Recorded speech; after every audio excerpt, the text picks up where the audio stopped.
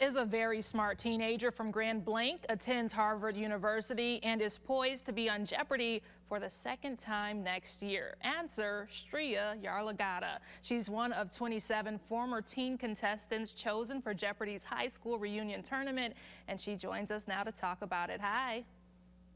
Hi, how are you? I'm doing great. So I take it you are joining us right from Harvard.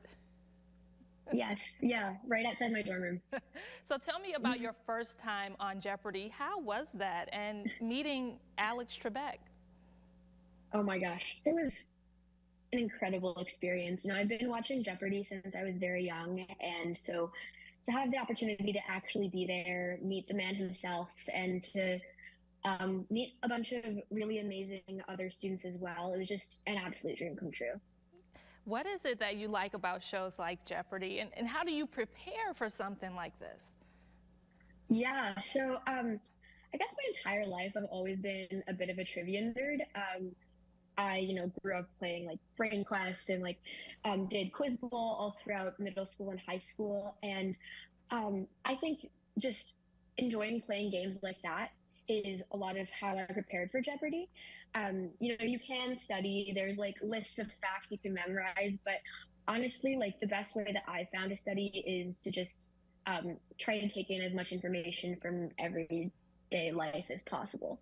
Oh, absolutely. Who do you who do you credit though? If you had to name one person, is it anyone from high school or, or in Grand Blanc who really was instrumental in helping you to sort of become the young lady that you are today?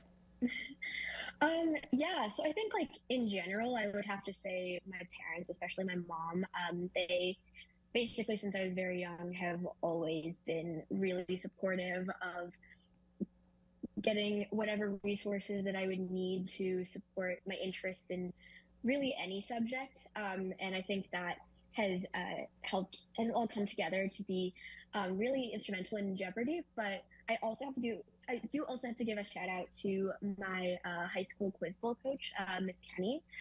I, uh, she uh, was really instrumental in my time in quiz bowl in high school, and um, gave me a lot of resources to help study the first time around. And so I'm really grateful to have her support and the support of the entire Grand Blanc quiz bowl community too as far as this competition, is there anything that's different about it? This is a, a, a reunion of other teenagers like yourself. Uh, what can we expect from it?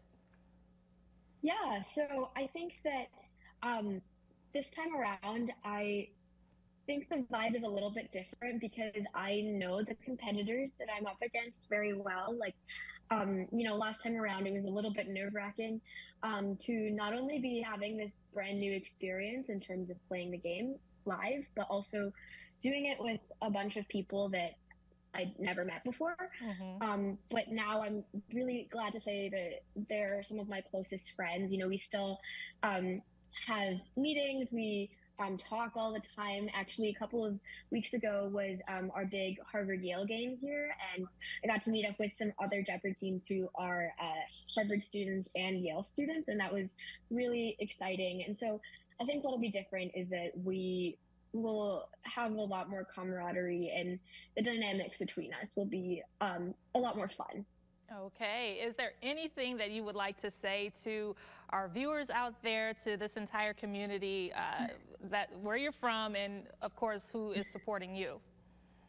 Yeah. Um. Just thank you so so much for all of your support. I really really appreciate it, and I look forward to hopefully representing you all well. I'm sure you will do just that. Shriya, thank you so much. Thank you. Bye.